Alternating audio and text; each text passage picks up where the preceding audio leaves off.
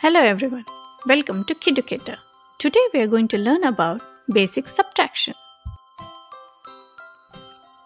We have three cupcakes. If you eat one, how many cupcakes would remain? It is two cupcakes. We have done a subtraction here. Subtraction means taking numbers away from another.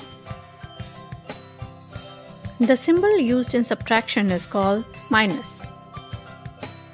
Here we have 4 apples. If you eat one, how many apples would remain? Taking away 1 from 4 will give you 3. Here we have 5 balloons. If we take out 3 balloons, how many balloons will be left? Taking 3 out of 5 is 2. So, 5 minus 3 is 2. Here we have 6 cookies. If you eat 2 cookies, how many cookies will be left? 6 minus 2 will give you 4. Let's do some practice. What is 2 minus 1?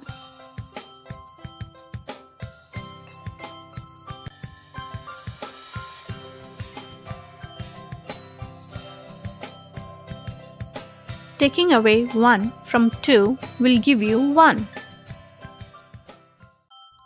What is 5 minus 2?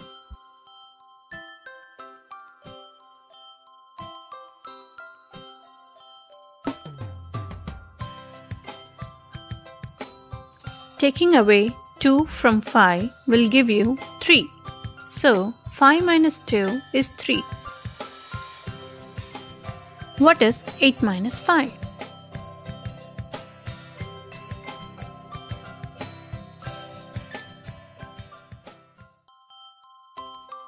Taking away 5 from 8 will give you 3. So, 8 minus 5 is 3. Thanks for watching. Please subscribe to Kiducator. Stay tuned for more videos.